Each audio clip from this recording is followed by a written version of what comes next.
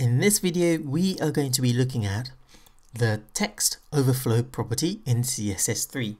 Now, in my last video, we looked at the, what did we look at? We looked at the word wrap property uh, in CSS3, where you have this long word which is longer than the width of your box it contains, and you use the word wrap break word so that all the words, or the long word breaks itself and fits inside the box. However, the only downside to that is that the box itself goes longer because the word is going to go onto a second line so the length or the height of the box gets longer and longer if you have a long word. So what if you don't want to do that and you already have a set height and width of the box and you don't want to change it?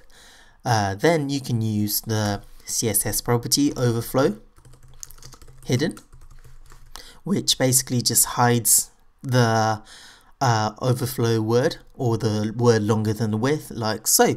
But this doesn't really look nice. And uh, it looks I don't know. I personally think it looks ugly because we have after this H we have this like part of the I think it's a V that's showing. And the uh, the website will look really incomplete or not cool if you have these stuff in your website like a part of a V. So what we could do is instead of doing like this, we could have that uh, dot dot dot thing at the end of a word that is too long. And we could uh, automatically uh, enter that by using a text overflow property. Like so.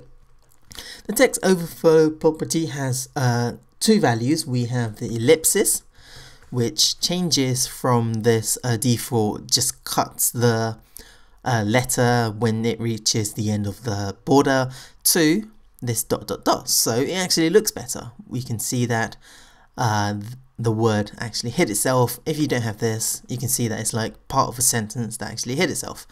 And that is the text overflow ellipsis ellipsis ellipsis yep and you also have this clip which is like the default property which just uh just clips it just breaks the letter just cuts the letter and you see this half v.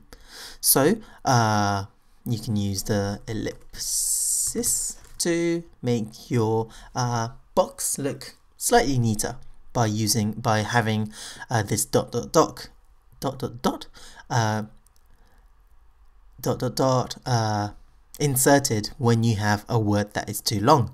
So uh, that was a quick video on text overflow properties in CSS3. Uh, that's about it. Uh, yeah, there's nothing else uh, I need to talk about just for this. It's only either clip or ellipsis and clip is just a default and ellipsis is uh, instead of just like the letter being cut halfway, it's going to insert this dot dot dot, which basically means uh, the sentence continue or the word is continuing and so on. And if you have like read more you can actually click on it and that's going to expand or something if you have like an article website. So yeah that's it. Thanks for watching and I'll see you guys later